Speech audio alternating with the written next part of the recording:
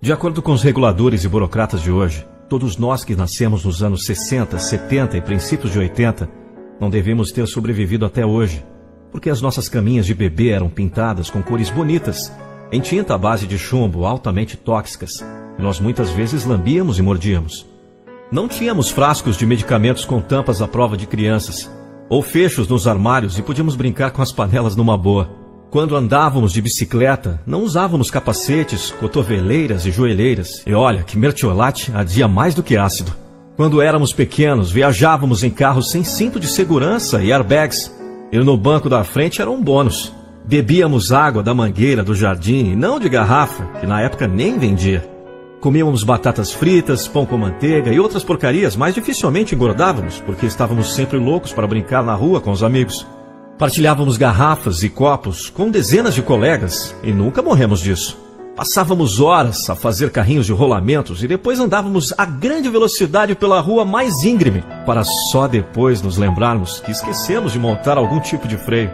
Saíamos de casa de manhã e brincávamos o dia todo, desde que estivéssemos em casa antes de escurecer.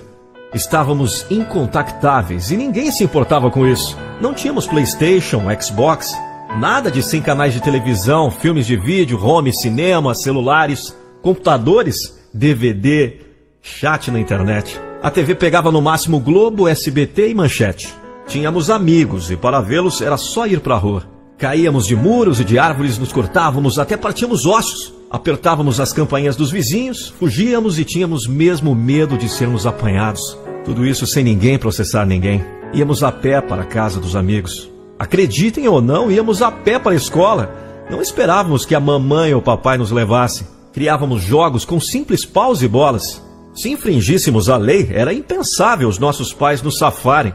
Eles estavam era do lado da lei. Esta geração produziu os melhores inventores e desenrascados de sempre. Os últimos 50 anos têm sido uma explosão de inovação e ideias novas. Tínhamos liberdade, fracasso, sucesso e responsabilidade. Aprendemos a lidar com tudo. E você? És um deles? Parabéns! Passa essa mensagem a outras pessoas que tiveram sorte de crescer como verdadeiras crianças. Para todos os outros que não têm a idade suficiente, pensei que gostariam de ouvir essa mensagem. Isto, meus amigos, é surpreendentemente medonho e talvez ponha um sorriso no seu lábio. A maioria dos estudantes que estão hoje nas universidades e nasceram em 1986 ou depois chamam-se jovens. Pode ter certeza que eles nunca ouviram We Are the Words. Para eles, sempre houve uma só Alemanha e um só Vietnã. O HIV sempre existiu. Os CDs sempre existiram. O Michael Jackson sempre foi branco. Para eles, o John Travolta sempre foi redondo e não consegue imaginar que aquele gordo foi um deus da dança acreditam que a Missão Impossível e As Panteras são filmes da atualidade. Não conseguem imaginar a vida sem computadores. Não acreditam que houve televisão preto e branco e quem tinha era rico. Agora vamos ver se estamos ficando velhos. Você pelo menos se identificou com alguma coisa que eu falei nessa mensagem?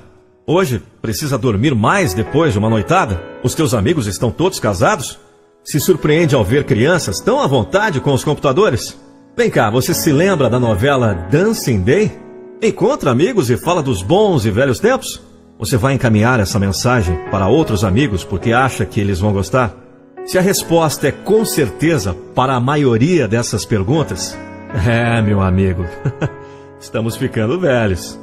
Mas pode ter certeza que tivemos uma infância maravilhosa.